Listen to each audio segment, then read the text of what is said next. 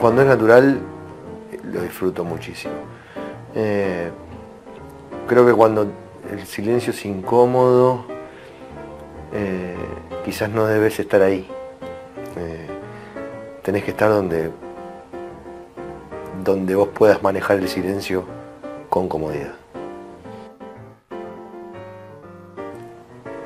Yo tengo miedo a la soledad no buscada, digamos. Porque está bueno no estar solo. Yo disfruto de la soledad, pero porque la elijo. Eh, el tema es cuando no, cuando no, lo elegís. Entonces a eso, ese creo que es un miedo que tengo desde, desde, chico, eh, que sigue estando ahí. Por suerte no me ocurre, pero sigue siendo el mismo miedo. Sí, mi hijo es el amor todo el tiempo eh, estoy planeando mi vida como padre, digamos.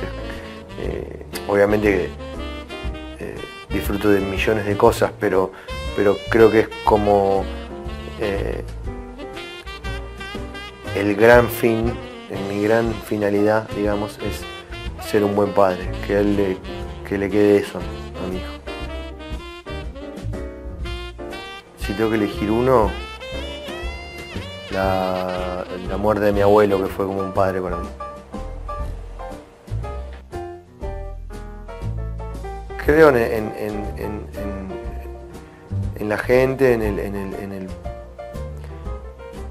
en el relacionamiento entre la gente, en el amor.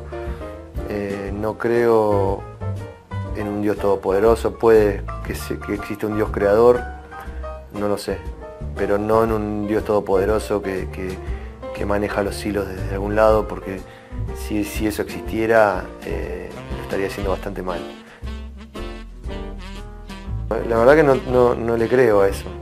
Entonces, eh, tengo la suerte de vivir en un país pequeño que no, donde no existe la estrella de rock como figura, entonces eso te hace vivir con los pies en la tierra y saber que tenés que hacer lo mismo que hace cualquier cualquier hijo de vecino, ir a, hacer, ir a hacer los pagar las cuentas.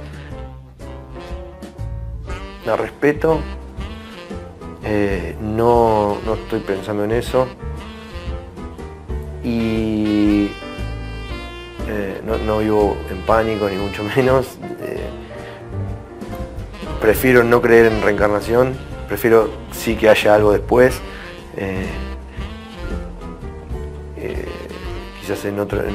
de otra manera, pero no en la reencarnación. O sea, me gustaría poder seguir viendo a mis familiares desde algún lado, a mis amigos, eh, reencontrarme con gente. Eh, me suena divertido, no sé si, si, no sé cómo será.